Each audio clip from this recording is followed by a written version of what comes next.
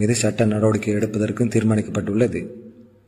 அவசியமான தேவைகள் நிமித்தம் வெளியில் செல்வோர் முக்கவசம் கண்டிப்பாக அணிந்திருக்க வேண்டும் எனவும் சந்தை மற்றும் கடைகளுக்கு குடும்பத்தில் ஒருவர் மாத்திரம் செல்லும் தேவையின்றி எவரும் வீட்டிலிருந்து வெளியேற வேண்டாம் எனவும் வலியுறுத்தப்பட்டுள்ளது. முக்கவசம் அணிதல் சமூக இடைவெளி பேணுதல் சந்தைகள் மற்றும் வர்த்தக நிலையங்களில் கை கழுவும் வசதி செய்தல் உள்ளிட்ட சுகாதார நடைமுறைகளை பின்பற்றுவோர் மீது பொது இடங்கள் மற்றும் கடைத்தெருக்களில் ஒன்று கூடுவோர் மீதும் கண்டிப்பாக சட்ட நடவடிக்கை எடுப்பது எனவும் தீர்மானிக்கப்பட்டுள்ளது. போலீஸ் இராணுவத்தினர் மற்றும் பொது சுகாதார பரிசோதகர் அனைத்து இடங்களிலும் முழு நேரம் கண்காணிப்பு நடவடிக்கைகளில் ஈடுபடுத்தப்படுவார் என்றும் இதற்கு மேலதிக அவசர நடவடிக்கைகளுக்காக அதிகாரிகள் மற்றும் பொது சுகாதார பரிசோதகர்கள் அடங்கிய விசேட குழு ஒன்று அமைக்கப்பட்டுள்ளதாகவும் தெரிவிக்கப்படுகின்றது. இருபதாவது அரசியலமைப்பு திருத்த சட்ட மூலத்திற்கு ஆதரவாக வாக்களித்த ஒன்பது பேர் ஐக்கிய மக்கள் சக்தியிலிருந்து விலக்கப்பட்டுள்ளனர். இதனால் அவர்களுக்கு பாராளுமன்றத்தில் ஆளுங்கட்சியினர் பக்கம் ஆசனங்களை ஒதுக்குமாறு எதிர்க்கட்சியின் பிரதமர் லக்ஷ்மண் கிரியகொல்ல சபாநாயகரிடம் கோரிக்கை விடுத்துள்ளார். கடிதம் ஒன்றினூடாகவும் அவர் இந்த கோரிக்கையை முன்வைத்துள்ளார். இருபதாவது அரசியலமைப்பு திருத்த சட்டத்தின் மீதான வாக்கெடுப்பு கடந்த இருபத்தி ஓராம் தேதி நடத்தப்பட்டது. இந்த சட்டத்திற்கு ஐக்கிய மக்கள் சக்தியில் ஒன்பது உறுப்பினர்கள் தங்களின் ஆதரவை வழங்கியிருந்தனர்.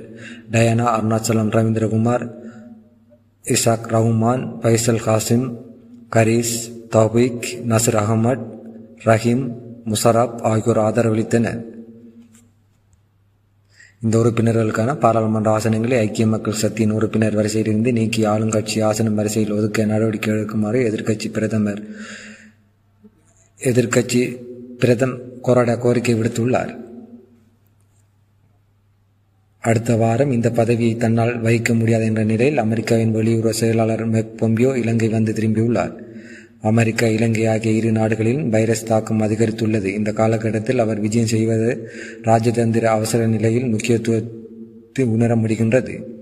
இந்தியாவை சுற்றி சீனாவில் திட்டமிட்டப்பட்டு அமைக்கப்பட்டுள்ள முத்துமாலை திட்டத்தில் உள்ளடக்குகின்ற நாடுகளுக்கு அவரது விஜயம் அமைந்துள்ளது.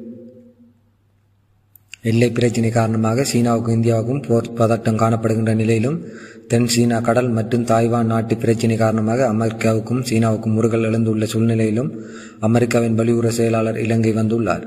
சீனாவின் மிகவும் நட்பு நாடான இலங்கைக்கு அவரது விஜயத்தின் நோக்கம் என்னவென்று ஊகிப்பதற்கு முன்பே இலங்கையில் உள்ள சீனா தூதரகம் அமெரிக்கா வெளியுறவு செயலாளரின் வருகைக்கு எதிரான தனது கண்டனத்தை அறிக்கையில் வெளியிட்டதன் இதன் விபரீதத்தை புரியக்கூடியதாக இருந்துள்ளது.